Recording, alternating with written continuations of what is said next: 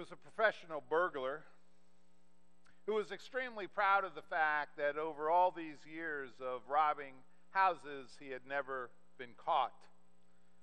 Only moments after prying open a particular window and stepping into a very dark bedroom, this burglar came for the very first time face to face with a vicious looking Doberman pinscher.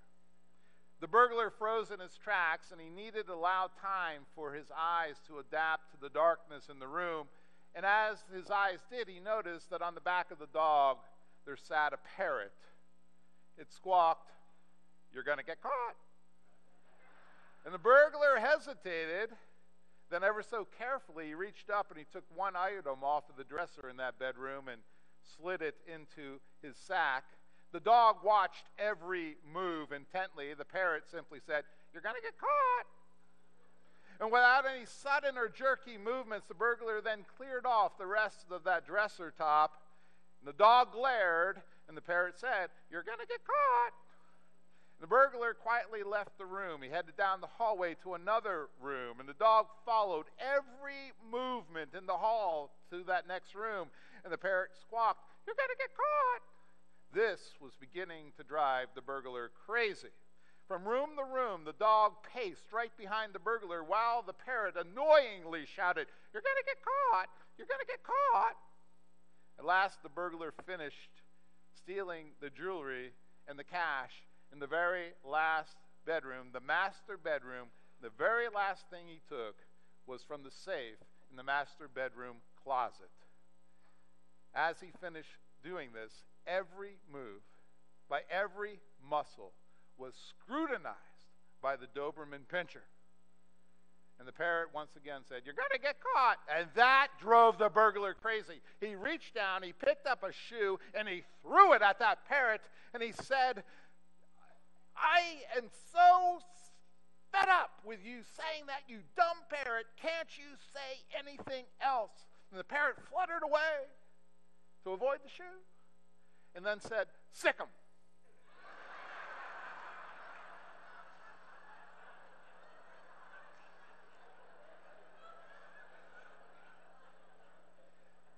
the burglar's day of judgment was at hand. And our gospel lesson looks back to another day of judgment when the Son of Man comes in his glory. Now, can you picture this parable that Bill and I just read to you in your mind's eye? I love how the great preacher Spurgeon described this event in one of his sermons. I can't give you the entire description, it was too long, but let me give you a portion. Suddenly, a voice is heard, shrieks from some, songs from others. He comes, he comes, he comes, and every eye must see him. There he is. The throne is set upon a cloud which is white as alabaster, and there he sits it is He, the man that died on Calvary. I see His pierced hands, but ah, how changed. No thorn crown now. He stood at Pilate's bar, but now the whole earth must stand at his bar. But listen, the trumpet sounds again. The judge opens the book. There is silence in heaven, a solemn silence. The universe is still. Wow, I mean, Spurgeon was awesome. I, I can't do anything like that. But this parable seems to suggest, and as Spurgeon pictures for us so beautifully, that time is coming when everyone, and that means you and me, everyone will be judged by God. Christ is separating, you see in this parable, this great crowd into two groups, and on his right side, we have the group that's called the sheep. And in the parable itself, it describes the sheep as the righteous. And on his left, he's got the goats. You know, there is no other title really given for the goats. So I guess, in contrast, I would suggest that they are the unrighteous or the cursed. And to the sheep, Jesus says, Come, you that are blessed by my Father, inherit the kingdom prepared for you from the foundation of the world and they will enter the heavenly kingdom. Now, the goats, you know, they're not so fortunate. You that are accursed, says Christ, depart from me into the eternal fire prepared for the devil and his angels. So I'll ask you, Which line are you in? Which group are you in? Do you know? Are you sure? How would you reason it? Why or why not? I know it's not politically correct to suggest that a day of judgment is coming, but I'm sorry, I put my trust in God's word, not in the political correctness. I put my trust in the living word, Jesus Christ, who told this parable. I put my trust in the written word, the Holy Scriptures, where it's found. A day of judgment is coming, and many of us think we know which of the two groups we're in, or we hope we, we know. We're a sheep. But as we consider the parable, I, I want you to note the surprise element. Did you find it as we read it? It's wrapped up in the word when. I want you to give that word some tonal inflection as you read this parable. And then I want you to notice how surprised everyone is in this parable. The sheep are surprised, and the goats are surprised. Van Hurst, he's a pastor, he lives down in Texas, and a younger guy, has a four year old daughter. He's sitting in his living room one evening. He's reading a book while sitting on the floor, resting his back up against the couch. And his little four year old daughter comes into the room. She just wants some attention from daddy. And as she walks in, she's holding a flavored chapstick in her hand. And she asks, Do you want some, daddy? Of course, he replied. And he promptly began to carefully spread that soft lip balm on his lips while he was sitting there reading his book it's an extremely sour flavor. He couldn't really put his mind to it. But it felt good, so he put on another layer, kind of thick. Just then, uh, his wife, the little girl's mother, came in saying, Courtney, what did you do with my glue stick? Surprise! That's the sort of picture that the last day that Jesus gives us a vision of the people are surprised. It's not what they expected. Lord, when did we see you hungry and feed you? When did we see you thirsty and give you something to drink? When did we see you a stranger and invite you in? When did we see you needing clothes and clothe you? When did we see you sick or in prison and go to visit you? That's the surprise. That's the surprise. Here's the surprise. The sheep don't understand what they, they've done to, to experience such an honor. In a similar light, the goats don't understand why they're being guided towards the eternal fire. I can almost hear the complaints now, can't you? There are going to be lawsuits in heaven. Jesus, there must be some mistake. I'm not supposed to be in the left line, I'm supposed to be in the right line. And to this complaint, Jesus replies, I was hungry and you gave me no food. I was thirsty and you gave me nothing to drink. I was naked, you gave me no clothing. I was sick and in prison and you ignored me. And the goats ask, When? They're surprised. When did we see you hungry? When did we see you thirsty? When did we see you naked, sick, or in prison? And Christ replies, When you did not do it to one of the least of these, you did not do it to me. Surprise! It reminds me of an old story about a man who dies, finds himself standing in front of heaven's gate, and Peter apologetically explains that heaven has been using some of the IRS computer system and the hard drive failed. They don't have the emails, they don't even have any of the information about all the people on earth. Now, Peter has to do personal interviews with each candidate to see if the person's fit to enter the kingdom of heaven. So, Peter begins the questioning What kind of deeds have you done that would make you worthy of heaven? And this man scratches his head, shrugs, and answers, I don't know. Well, for example, were you ever part of the Boy Scouts and involved in some community projects to help people? No, I never did that. Do you ever help an older person across the street? No, I never did that. Do you ever contribute some food to the food pantry or at least go over and help sort some food or something? Nah, never did that. Well, tell me, did you ever do anything good for anyone in your entire life? And the man thinks and finally says, Well, you know, years and years ago, I, I went to church once and I, I put a nickel in the offering plate. Does that count? Peter's stumped. He, he doesn't know. He's got to get this clarified by Jesus. So he goes over to Jesus and he says, explains the whole story. He asks what to do. And Jesus says to Peter, it's simple. Give him back his nickel. Now, pardon my crudeness, but we need to face the reality of this text. Jesus says that caring for the needy is serious business. Surprise! It's not about you, it's about how we love God and how we love one another. And that brings us to the second thing we need to note this morning. This parable is about faith in action. Some will want to say this parable, you know, is actually arguing for salvation by works. There are some who will dismiss this parable and say, you know, I don't have to listen to this parable because I don't believe in salvation by works. I believe in salvation by faith. So I don't have to worry. And as a good reformer, I believe the Bible teaches us that we are saved by faith, not by works. Genesis 15 6, for instance, it says, Abram believed God. He had faith, and it was credited to him as righteousness. Faith is what saves. But what is faith? Is it just some mere intellectual assent? Or is it a participation in God's work in His world? I don't see this passage as saying that the sheep are sheep because of what they did. I understand this passage to say the sheep did what they did because they are sheep. The purpose behind the sheep's actions was not to earn brownie points so that they could stand before the heaven's gates and say, I deserve to get into heaven. I think they did what they did because they genuinely felt concern and compassion for the least of these. Simply put, they were compelled by the love of God to do what they did. It wasn't calculated, it was genuine and authentic love. Faith came first, and their actions were a natural consequence of God's Spirit residing in them. E. Stanley Jones once told of a Brahmin convert began to live at an ashram, which is a monastery over there in India. Stanley had founded it with some friends.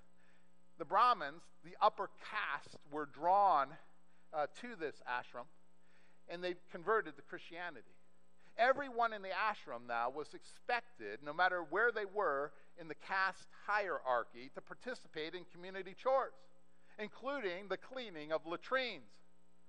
And at that task, that former Brahmin, of who I just spoke, from the upper class, he stopped short, claiming that job was beneath him. And when Jones insisted that in Christ there is no unsuitable task, and that all those who have been converted to the Lordship of Jesus Christ should have no trouble cleaning latrines. The Indian responded, Brother Stanley, I'm converted, but not that far. And that's our problem, isn't it? We're converted, but not that far. We're supposed to be giving all to the Lord, but we draw a line when something is more important to us than is the Lord. Compare that man's attitude with one of the nuns of Mother Teresa. One day, Mother Teresa saw this nun just smiling, wide smile, full of joy. She asked the sister why she was so happy. And the nun explained that she had found an old man who was stuck in a drain. And the man had been stuck in that stinky muck of that drain for some time. He was completely covered with dirt and with maggots, and he stunk. The good sister cleaned the man up, took care of his open wounds. And as she was doing this, she told Mother Teresa, something beautiful happened. I knew I was touching the body of Christ. I knew I was touching the body of Christ. That's the real conversion. That's the kind of conversion that counts, that's genuine and authentic. You don't do something good because then God will have to let you into his kingdom. You do good because you are full completely with the love of God. You want to serve and obey God with all of your being. Surprise! One Sunday morning, Dr. William Quick was in his study going over his sermon before worship at the Metropolitan Church up in Detroit. It's a Methodist church. When a layperson knocked on his door, I hate it when this happens. The gentleman apologized for the interruption, but he walked in and he handed Dr. Quick an envelope saying, Read this after worship. Not right now, but after worship. Following worship that morning, Dr. Quick went back to his office, opened up the envelope, and found a note. This is what it, how it read. In the midst of this terrible recession which has hit Detroit, Large numbers of people are discouraged, out of work, hungry, and cold. Many are surely finding their way to our church. During our morning devotions today, my wife Dorothy and I decided that no one in real need here in Detroit should be turned away. We don't want our pastor to be unable to help meet their needs, whether it be food, medicine, or whatever. Take the proceeds in this enclosed envelope and put it to work amongst the needy of Detroit and on the substantial gift that was enclosed were the words written to the glory of God for the work of Jesus Christ through his church. If Christ is to shine forth as the light of the world, that his disciples, you and me, must put our faith into action. No task is beneath us. Every person we serve is a child of God. And this brings us to the last thing I want to say this morning we here at Desert Palms have a wonderful opportunity. Have you ever noticed how few truly satisfying experiences there are in life? If you ordered the television package from uh, Cox Cable, just the basic, you probably get about 60 television stations. If you got the top tier, you've got well over 300.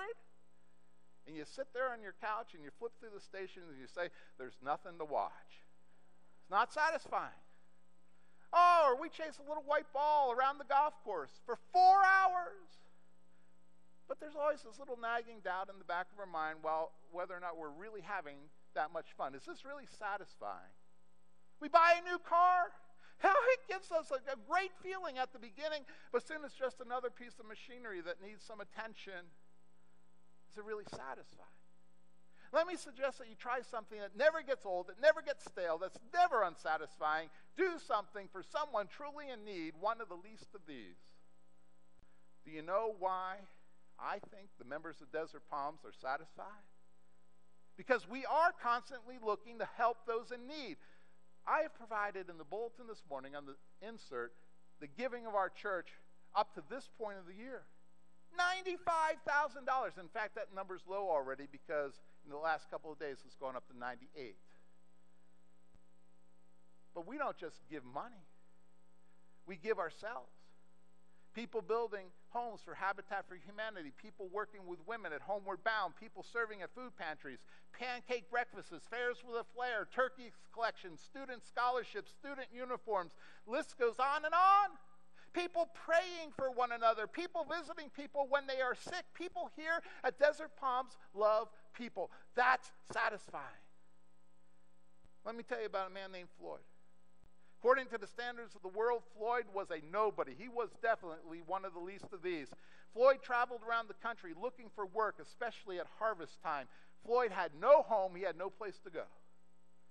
A Christian couple invited him into their home one night and gave him a home cooked dinner and said, You know, we got some work out in the, uh, our cherry orchard that you could do tomorrow. He said, Great. So he sat down to eat. He didn't say very much over the meal.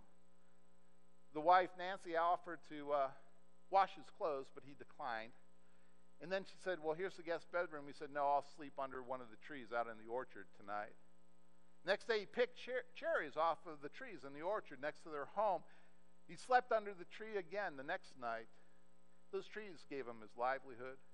Early the next morning, Floyd returned to the couple who had shown him such kindness, and when he finished, he said, I have one last project to finish in the orchard, and then I'm leaving.